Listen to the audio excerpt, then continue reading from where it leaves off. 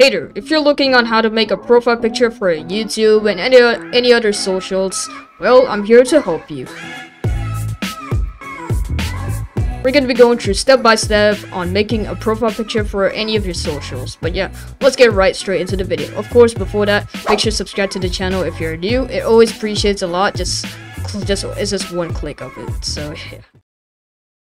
But anyways, so the first thing all you gotta do is open Roblox Studio. Once you have it open, you gotta click on base plate right over here. Once you have base plate open, you can you have to go to plug plugins and click on and you gotta install a plugin called Moon Animator 2. But yeah, for those who doesn't have it, it costs Robux. I am sorry, but for those who wants to install it, you can go to View, click on Toolbox, and make sure it's uh, the plugins category and type in Moon Animator, or you might find it right over here. Just click on it. Apologize for that, but I hope you guys could get a Click on Character Inserter. You might have these three options. You have to get the ID for your character. So go to Roblox, go to Profile, and then copy your Roblox ID right up here. 15. So for me, we're gonna go for R15 because it has a better, better for better quality. But anyways, now we're gonna click on Moon Animator. Now we're gonna go ahead and click on New Rig Animation, and now we're gonna start posing our character.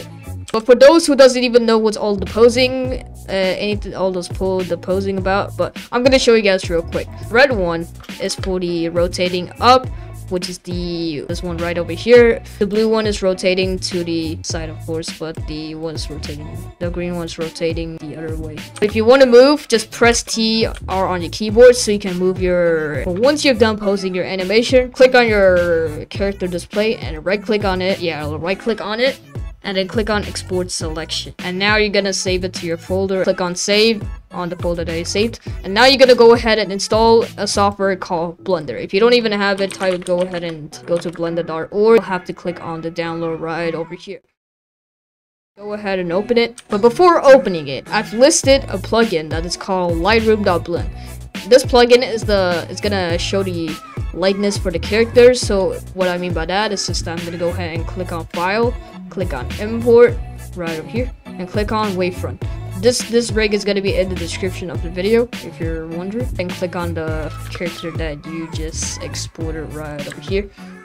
And for those who wants to move in blender uh, make sure it's uh, you hold on the middle scroll of your mouse. But if you want to do like this way of moving there's a navigation of that. So just click on add uh, view actually the view navigation uh, walk navigation. This one right over here. Right, right click on it. We'll say add shortcuts since I already have it. So mine is Shift F. So whenever I press Shift F, I can move wherever I want, like right over here.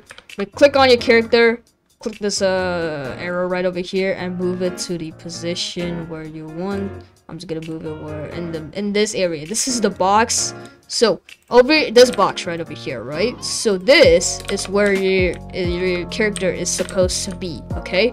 And these panels are like the light. It's gonna show the light of the character. So if you want to go to camera mode, click on here. It's already set for those who doesn't have it. Click on Shift A on your keyboard at the same time, and then click on camera right over here. And then once you go on camera mode, make sure just press Shift F, and your camera will be able to move and move it at the angle you want right over here. Once you're done with that, if you want to see the preview of it, click on this thing right over here, the viewport rendering, I believe.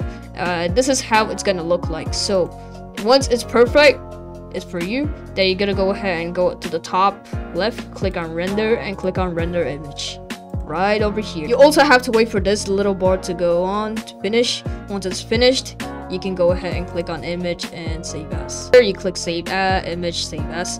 And now you're gonna go ahead and save it at your folder. So I'm just gonna call this whatever I want. Now we're gonna click on as save as image. And then now you're officially done with the rendering part. The next thing you got to do now is open Photopea. Link in the description for the website, or you can just search it in Google, photopea.com. But once you've op opened Photopea, this is what's to look like. Click on new project. We're gonna go ahead and change the weight to 800 and the height also to 800 and make sure the background you can also you can set it to transparent. But in my case i usually set it to transparent and this is what it's gonna look like So, so all you gotta do now is add in your character. Once you've got your character in from your folder, we're just gonna go ahead and rotate the character right over here and just go ahead and scale it to the right position on how we want it to be. And if you want to zoom out and zoom in, for it, make sure to go ahead and press Control plus to zoom in, Control minus to zoom out. So there we go. The character, click Image, go to Image, go to Adjustments, and we're gonna go ahead and go to Hue Saturation and change the saturation to a little bit higher. This will create like an like a more detailed effect for the character, which will make it so that it looks a little bit better for your profile picture, just a little bit. But once you've done, click on OK, and this is how it's gonna look like. So now, let's go ahead and unlock the background layer. And we're just gonna go and click on the paintbrush and set it to higher, and we're just gonna change the color to white. Okay, to exit, then we're just gonna go go back to paintbrush and just cover this layer, just add a little background. But one now, because we're gonna do that, so we so we can add in a gradient overlay. And I already set the the gradient color, so click for if you don't have it set, you can just set it to minus blue where you're gonna click on the left side and click on this and then you change the color and click OK and basically that's it. Same with this side. You click on it and then you click OK. So once so I'm already done. Character double click to the blending option right over here and add in a drop a drop shadow. And make sure it's set to Linear dodge and change the color to uh, like like for me I'm going for wood blue. This is gonna add in this is gonna create a, an overlay effect for the layer and add in the inner glow. This is also gonna add in the inside. It's gonna also create an inside glow effects. It's gonna look pretty cool for the pro for the character so yeah. But let's create we're gonna create a new layer. And once you create a new layer click control and click on this part of the of the bottom character layer. So and now we're gonna go ahead and just fully cover off with the paintbrush make sure it's set to high of course.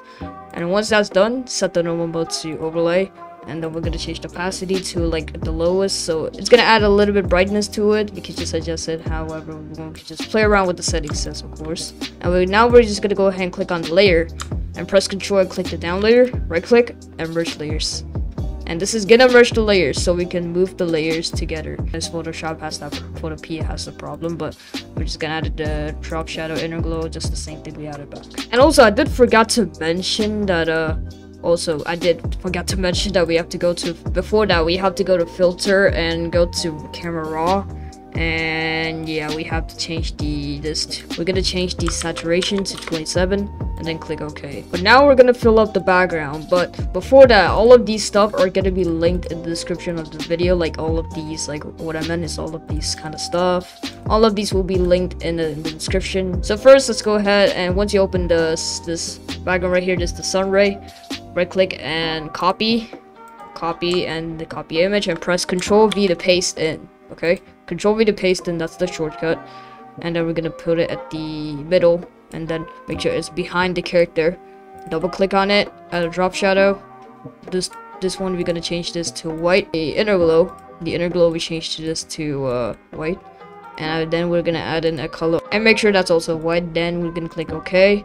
And that's gonna create a more lighter effect for the for the behind the the characters, of course. Next, we're gonna add in this arrow shape, which is also linked in description, which is, of course, and we're just gonna drag it behind the character, and right over here, we're just gonna rotate this, and make sure we scale it to the right angle. We're just gonna go ahead and rotate and scale it to the right angle.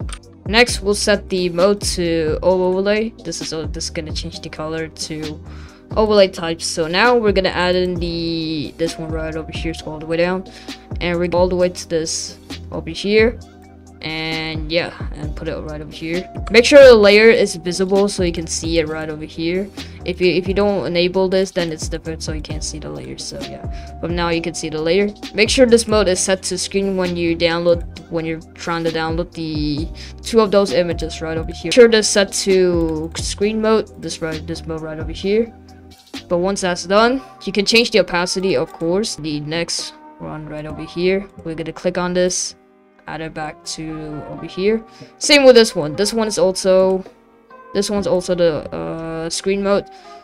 So we're just gonna make sure We can also rotate it just to make it so that it's in the correct position. We can also make sure to mode the screen mode as of course when you're trying to download it and add it to Photopea. And you can also change the opacity. We're just gonna change it right now a little bit right over here. I think that will look great. So yeah, there we go. We're also gonna select this layer right over here, this one up here. We're gonna right click on it and make sure it's clipping mask. What this will do is it will connect the layers so that it doesn't really need to go anywhere with it. So it doesn't really like move around somewhere else and all that kind of stuff. But we're just gonna click on this layer and click on those. Make sure to control to click the second layer, hold control to click the second layer, and we're just gonna rotate it to scale it a little bit then it'll look pretty much a little bit better at least. The last thing we're gonna do from now on is double click the main character and add in this uh, option right over here, Bevel and Emboss. This is gonna add in also more a little bit more details as you can see like a little bit stuff is happening right now. So we're just gonna change it a little bit. Just we just gonna change. We mainly have to change the size and the depth if you want to, but mainly I'm just gonna change the size. There we go. But of course, once you're done, click OK. But yeah, we're officially done with the profile picture. But now we're gonna go ahead and save the image by clicking on file on the top left by the way. File, export as, and PNG click on those. We can name it whatever you want. I'm just gonna name it whatever I want. For all of these settings, you don't really need to carry, uh, uh, unless the quality is like lowest, you can just set it to, like, you know, 100% because that's the thing we need, mainly need to set it on. And then we're gonna go and click on save and save, and there we go. Open the picture, the profile picture right over here where we just saved. And here we are. This is the profile picture, and congratulations, you've officially made a Roblox profile picture. Congratulations for make for making this far of the video but yeah. But if you have any questions to ask any problems or anything please of course refer them to the comments and we'll try and i'll try my best to reply to them as soon as possible but yeah. And i'll see you guys on the next video. Anyways take care and peace